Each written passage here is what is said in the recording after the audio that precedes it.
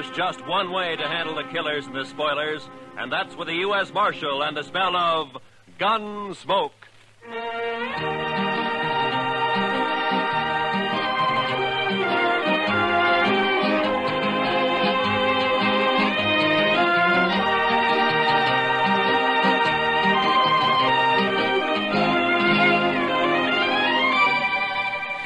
Gunsmoke, starring William Conrad. The transcribed story of the violence that moved west with young America. The story of a man who moved with it. Matt Dillon, United States Marshal.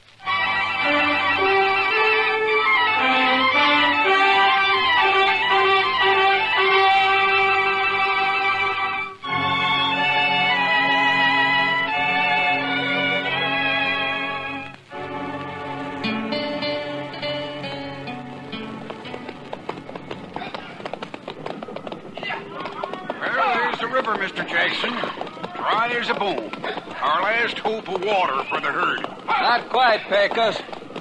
Cottonwood Pond is just over the rise ahead of us. Well, it may be dry, too. Bet they haven't had a rain on the prairie for six months. It won't be dry.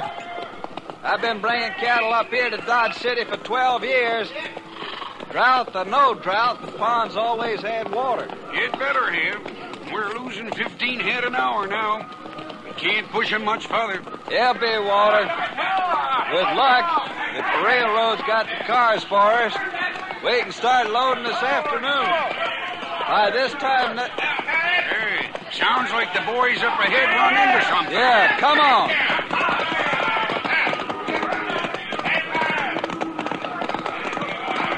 There's a pond, Pecos. Plenty of water. Yeah, I guess you were right. Wonder why the herd's piling up. They ought to be stampeding for that pond. You think you have to... Hold up, Pecos. A barbed wire fence. Somebody's fenced off the pond. Mr. Jackson, it looks like we've got a fight on our hands.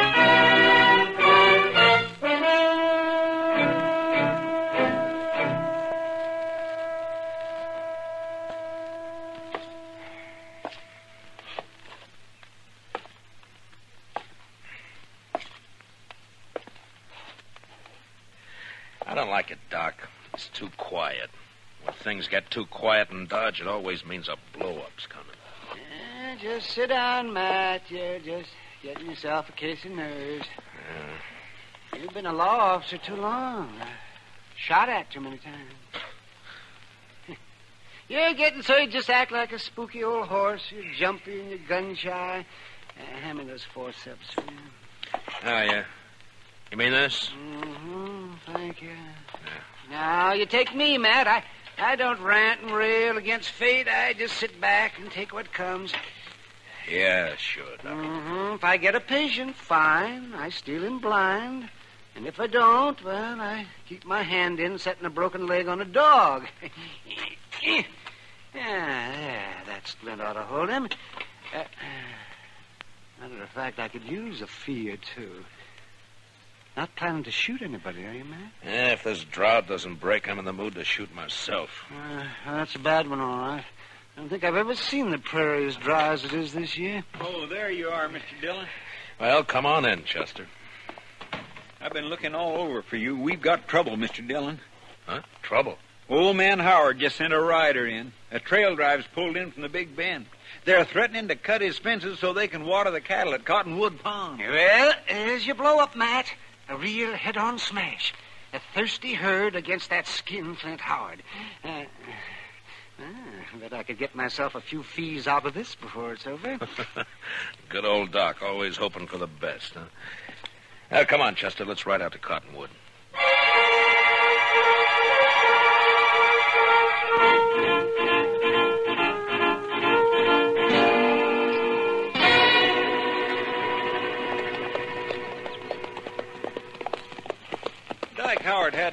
To fence that pond, Mr. Dillon.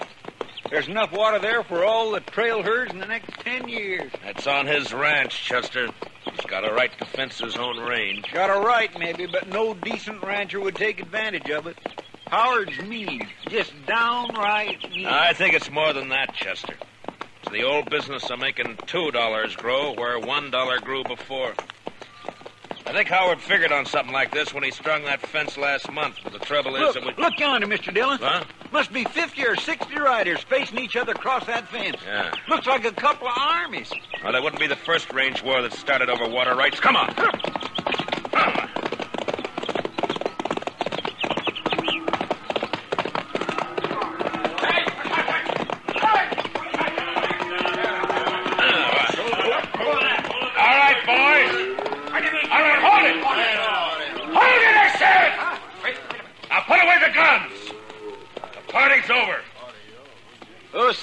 Mister? I do. Who are you? Dillon, U.S. Marshal out of Dodge. Marshal, that man and his gang are threatening to break through my fences and trespass on my property. I demand the protection of the law. You'll get it, Howard. You're the owner of this herd? That's right, Marshal. Jack Jackson from the Circle Z spread down in the Big Bend. Maybe you can make this fella see reason. I got a herd of cattle here that's dying like flies for lack of water. Over there, a hundred yards, is plenty of water. Only this sneaking crook has fenced it in. How about it, Marshal? Well, it's his land, Jackson. The law gives him the right to fence it. Law? Right. Everything I got in the world's tied up in that herd. There's 25 trail riders there in the saddle I can't even pay wages to if I lose these cattle. Does the law uphold pushing a man against the wall and wiping him out? It wasn't intended to. Howard, why don't you ride up here to the fence and talk, huh? Uh, sure, Marshal. No objections at all. It's My fence, ain't it? Well, nobody's doubting it. Now, look, is there any reason why you can't get together with this man and let him take that herd in and water it? I made him an offer. He turned And it all down. for a dollar a head a day for water or buy the herd himself for three dollars a head. Those are pretty stiff terms, Howard. Better than losing everything like he's gonna do. Why, you dirty All right, low- hold it, both of you. Now, look, if there's any gunslinging starts, I'm going to be in on it, too, you understand? Howard, I just don't understand you. Most people out here on the frontier stick together when trouble starts. They don't kick a man when he's down. And they don't look on a drought or a blizzard as a chance to make a personal cleaning. Ah, just a minute, Dillon. You call yourself the law Dodge. All right. Does the law say I can fence in my own land? It does. And never mind your opinions, Marshal. All I want out of you is enforcement of the law. All right, Howard, you'll get it. And that's all you'll get. Jackson, you better have your boys start the herd circling.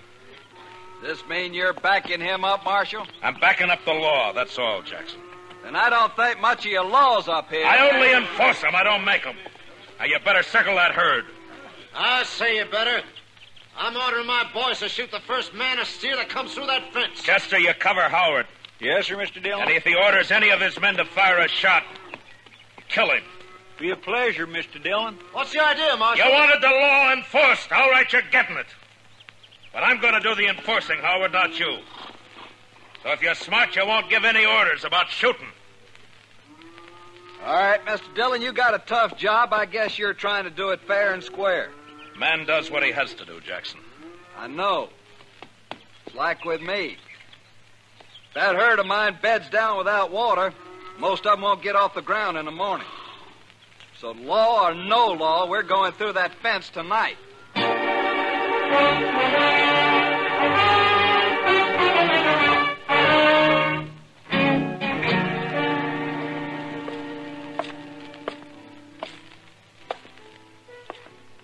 Matt, Huh? Oh, hello, what's the Kate. matter? Bad liquor or a busted steak? Uh, neither, neither. How are you? Eager, but you probably noticed that before. Seriously, though, what's wrong? Plenty. One of the bloodiest little range wars you ever saw is just about to break. Out of Cottonwood Pond, I heard about it. Did you hear, too, that I'm back on the wrong side? Here, pull a stool up to the bar. Harry, a drink for Mr. Uh, Dillon. no, thanks. I can't stay, Kitty. I gotta try to round up some deputies, and try is probably about as far as I'm gonna get. Old Ton will be siding with the Texas boys against Howard. And against me. Maybe you ought to switch sides, Matt. Oh, ah, sure, sure, I oughta. I know, but I can't. If I started making my own rules, it'd mean the end of law and order in Dodge City. Yeah, I just can't do it, Kitty. Much as I'd like to. Well, not for me to say. You're the one who has to decide. Uh, yeah, Chester. What'd you find out? Mr. Hightower down at the railroad depot checked clear through to Topeka. They can't get enough cattle cars here to load that herd out before day after tomorrow. Well, that's that. It's an outside chance anyway. Yeah, I just can't do it, Kitty. Much as I'd like to. Well, not for me to say. You're the one who has to decide. Uh, yeah, Chester. What'd you find out? Mr. Hightower down at the railroad depot checked clear through to Topeka. They can't get enough cattle cars here to load that herd out before day after tomorrow. Well, that's that. It's an outside chance anyway. I thought we might load 'em up fast, Kitty, and run 'em up to the Walnut Creek. It's still got a little water in it. But I. Matt, there's something wrong with the law that upholds a low-down scheme like this. Well, what Howard's doing is wrong morally, but it's right legally. I gotta find a legal way to stop him. I'll bet a lawyer could find a way of some kind. Too bad this town doesn't have one. Oh, heaven forbid. Just the same, Matt, I... Dillon? Yeah, what is it? My name's Fenton. I'm range boss. Yeah, I know. You work for Dyke Howard. Well, what's on your mind? Well, Mr. Howard figures you ought to be arranging to protect his property. Jackson gave me his word he'd lay off until nine tonight. His word, sure. But Mr. Howard figures it'd be a good idea if you deputize his riders. and- Fenton, get out. Wait a second, Marshal. Go on, get out. When I want Howard's advice, I'll ask for it. Now go tell him that. Well, yeah, but Go on. Get out. Move.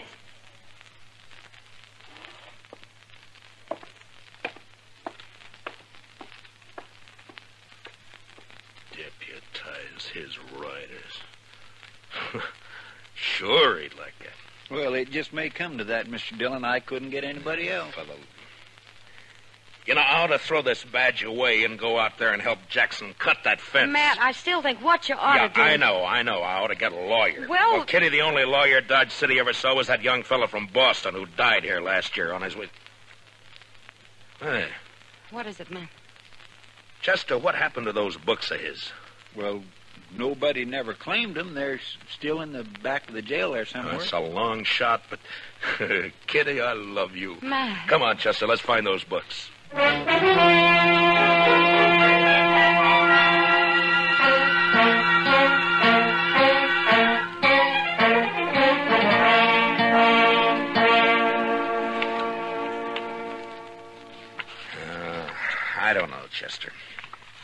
A year just to learn what these words mean. Well, I sure can't help you, Mr. Dillon. Looky there. Tort. Replevin. Statutory malfeasance. Why don't they write the laws out in English? It'd be no work for lawyers. And the only thing that might do it is this one. I'm not too sure what it means. Uh, evening, Matt. Oh, Doc, come on in here, will you? I figured I'd bring you a little courage for the battle. What? Uh, might be snakes out at Cottonwood Pond. it's very thoughtful. yes, sir. Calomel and Irish whiskey. No doctor west of the Mississippi ought to be without 'em. Uh, the calomel's for the women, you understand? yeah, sure. hmm Of course, a bottle of Jameson might not cure a patient, but it sure makes him enjoy his illness. Yeah. Look, uh, Doc, you've been to school. Uh, at least I guess you have. Oh, well, uh, I, I browsed through a couple. Well, listen to this now, now, and tell me what you think about this paragraph right here. Uh, well, let me see. A schedule of territorial ordinances and judicial precedents. Handbook for local administrators. Uh, well, I didn't go to law school, man. No, no, but you've read books and you know big words. Now, now listen to this. The local administrator or other duly constituted authority in a territorial division is hereby empowered to declare a state of acute emergency in case of riot, rebellion, or any natural catastrophe which threatens the general welfare. Now, Doc, would you say I'm a duly constituted authority, huh?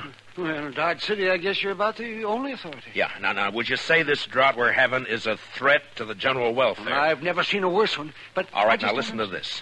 Yeah? During the period of such emergency, the officer in charge is authorized to seize, confiscate, allocate, or otherwise administer critical materials and facilities in accordance with a common need and his own discretion. All right, Matt.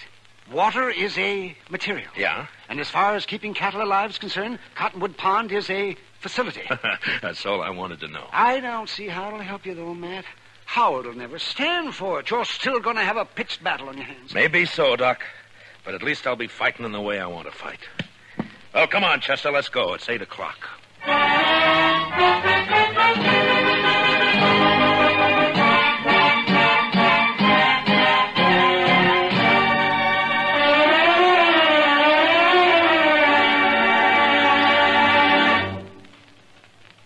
Return for the second act of Gunsmoke in just a moment. But first, you personally can help to make sure America has an impregnable fence against invaders along all its borders by volunteering as a ground observer to watch the skies for unidentified planes.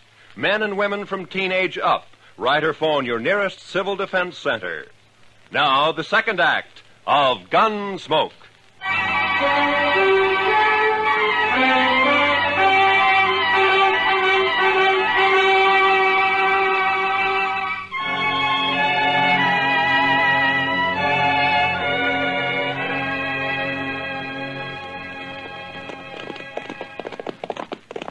That's dark now. Must be pushing 9 o'clock. Hope they don't jump the gun on us, Chester. I figure Jackson will stick by his word, Mr. Dillon. If Howard lets him. You know, we might get a break in this drought if that storm comes this way. Now, I'd say it's only heat lightning. All thunder and no rain. Well, if it goes on a few more weeks, this prairie will be dried right down to the All nubbin. right, hold it. Pull up them horses. He's right there by the fence, Mr. Dillon. Yeah, I see it. Who's there? Well, speak up. I usually answer bushwhackers with a six gun. This is your lucky night, Fenton. Oh, Marshal, I, I didn't know. Where's your boss? All right here, Dillon. About time you got here. That mob may try to rush the fence any minute now. Not yet, Howard. I said nine o'clock. You got five minutes yet. Come on over here, Jackson. I want you to hear this, too. I kind of wish you'd stayed out of it, Marshal. I'd rather not have fought against you. Never mind. Mr. Howard, by the authority vested in me as a U.S. Marshal, and under the territorial laws and ordinances of the United States, I'm hereby declaring a state of acute emergency due to the drought. What are you talking about, Dillon? The U.S. Territorial Ordinance Schedule of 1858, Section 721C. What are you trying to say? Just this. For the duration of the emergency, I am taking charge of Cottonwood Pond in the name of the United States government. And I'm allocating use of it to Mr. Jackson here to water his herd. Now, if you want to try to make a deal with him, you got five minutes before I cut the wire and open the fence. I've never bought water before, but I'll give you ten cents a head, Howard. How about it? I'll see you dead first. And I'll be struck dead myself before I see one head of your stock onto my property. Dillon, I don't know what's behind this move.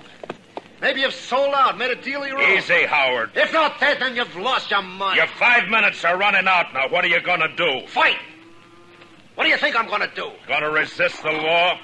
You call it the law, I don't. Dillon, I'm giving my boys orders to shoot any man who lays a hand on this fence. And that goes for you. Listen to me, Howard. You got a chance to do something that costs you nothing and means life or death to somebody else. And you're refusing to do it. Well, I'm sorry to see it that way. But in any case, this herd gets water. Maybe they will. All right, boys, you heard it. Keep that fence covered. If they want to fight, they'll get one. Jackson, I guess I'm going to need some deputies. Well, I got 25 men here, Marshal. They're yours if you want them. All right, boys. Will you all raise your right hands? Do you swear to uphold the Constitution, ordinances, and bylaws of the United States to the best of your ability, so help you? I do. All right, you're all temporary deputy marshals acting under my orders. Now bunch the cattle in this way and start them through the fence as soon as I open the wire. They won't need much starting, Marshal. They've been smelling that water for hours. Now don't shoot unless you're fired on. If you are, protect yourselves and your herd. All right, let's go.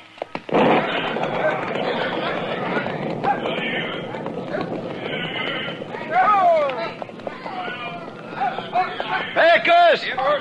Keep those flankers closing them in toward the opening here. If they crowd on that fence, they'll cut themselves to rebel. Right, boss. Over this way. Chester, come here, man. Yes. You got the wire cutters? Here you are, Mr. Dillon. You know, I think we got a fight on our hands. Yeah, I guess. All right, keep me covered. I'll watch the left over here. All right, Mr. Jackson. Well, there's one strand. They're cutting the fence, Mr. Howard. All right, fire at the flash, Chester. Yes, sir. Oh, my gracious, I wish there was a moon. There's one more strand. I spotted him. And here's the last one. Now, All right, boys, the fence is open. Bring them through. come on through, boys. Come on.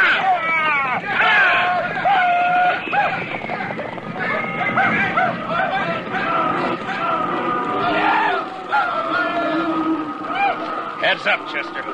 They won't give in this easy. Yeah, you can hear them out there, but you can't see for the dust. Yeah. Wind's coming up off that cloud. Well, come on. Let's try to find Howard. I'm going to take him in for attempted murder. Last time I heard him, he was down along the fence here, Summers. All right, boys! Fire the grass! What the? Look! Look at them torches, Mr. Dillon. They're setting fire in the grass. Yeah. As it is, they'll start the whole prairie blazing. Jackson! Get your herd through the fence. They're trying to stampede it. It'll take more than fire to turn those cattle away from water. I guess you're right. Look, send as many as your boys as you can to help me. We got to get that fire stopped and fast.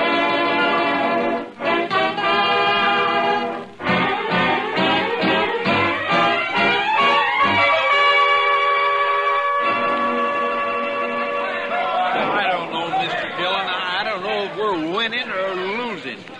Well, if that backfire holds it, we're we're winning, Chester. Otherwise, Couldn't have been a worse time. The prairie's dry as gunpowder. well, at least the herd's safe. They wouldn't leave that pond if the whole world caught fire. Any orders for the boys, Mr. Dillon? Uh, yeah, just have them keep working along the edge of the backfire, Pecos. Beat out any sparks that get across. Huh? Right, Marshal, I got you. Uh, have you seen anything of the Howard gang? Oh, not a sign. I guess they figured they'd done all they could. Yeah, maybe. Mr. Dillon, I'd swear a storm's going to break. I, I can halfway smell the rain. I don't know about that, Chester. But it's doing one thing it won't help us. What do you mean? Look, the wind shifted, starting to drive those flames across the backfire. Well, if it catches there again, it'll get clear away from Yeah, us. it sure will. Now, come on. Let's grab some of the boys and start working behind it. Yes, sir. Go, Dillon. Well, Fenton, I figured you'd be halfway to the Mexican border by now. Well, you figured wrong. You keep your hands still, both of you. One move and it's your last move. That's about the way you planned it anyway, isn't it? You wiped us out, Dillon. That backfire of yours took the ranch house and the barns. There's nothing for us to do now but drift. Only first I'm going to kill you. Hit the dirt, Chester. Fenton, drop the gun. You're under arrest. I'll drop it, you dirt. Dillon. Dillon, I... Well, you warned him, Mr. Dillon. Yeah, it doesn't matter much now. Look, Chester. Yes, sir. It, it's jumped the backfire. With that wind driving it, it'll burn the whole prairie from here clear to the river. And Dodge City along with it. Not a way in the world of stopping it either. There's the shot, Marshal. You all right? I'm sick at my stomach, that's all. Dodge City's gonna burn, Jackson, and there's nothing we can do. I sure didn't figure on this. I let him have the herd, gladly. No, it's my fault. I should have jumped him first. A man does what he has to, Marshal. I don't think that's your way. Well, maybe my way's the wrong way. When it leads to burning 10,000 acres of prairie in a whole town, there must be something Wait, wrong. Mr. Dillon. What is it, Chester? I told you, I, I told you I could smell it. Smell what? What the devil? He... But... Rain! Yes, sir. By heavens, it's starting to rain! By heaven may be the right expression. well, I don't know about that, but I know it's the only thing that can save Dodge. well, come on, rain! Faster! Cut loose and rain, will you? It's a going in, Mr. Dillon. Look at it beating down on that fire. rain! Chester, uh, you know, out here on the frontier sometimes, when, when a thing like this happens, it makes you wonder if, if maybe. Well, I don't know. Come on, Chester, let's find our horses.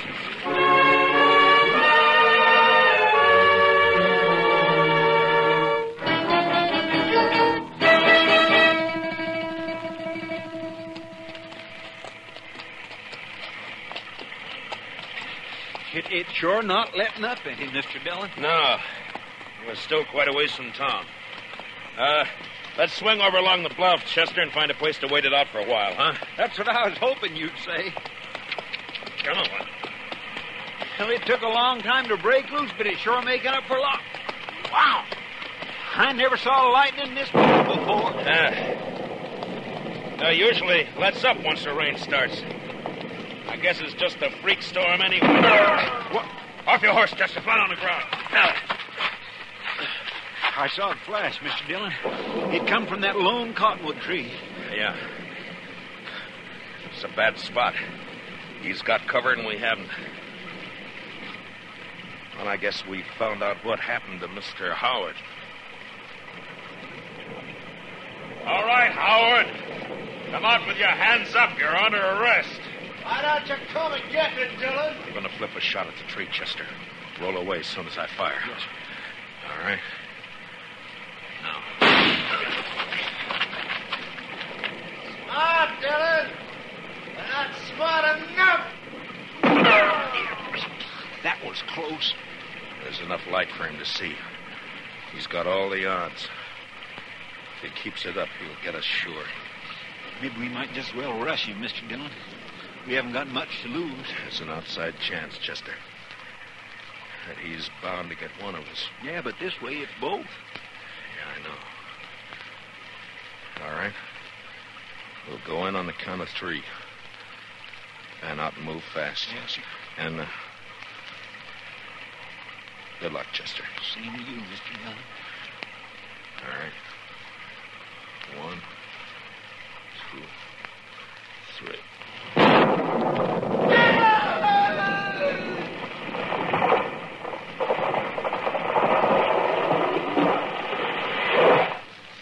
Mr. Dillon, what happened? It was lightning. It struck the tree.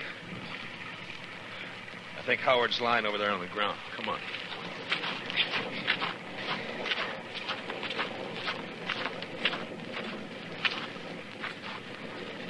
Yeah. He's down, all right. He said he'd be struck dead before he'd ever give in. Well, he was. By heaven, I don't know. The second time tonight. you know, Chester, I think I'm going to change my ways.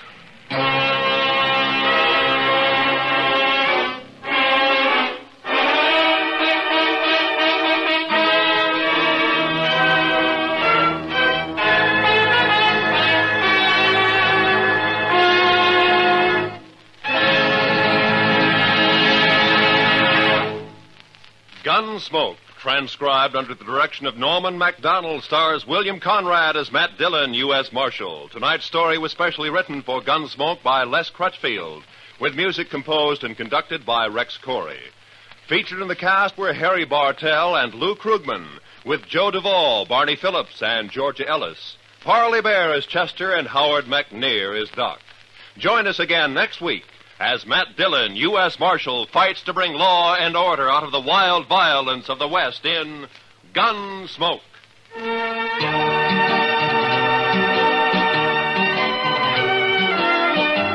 Where there's crime afoot, look for gangbusters tonight.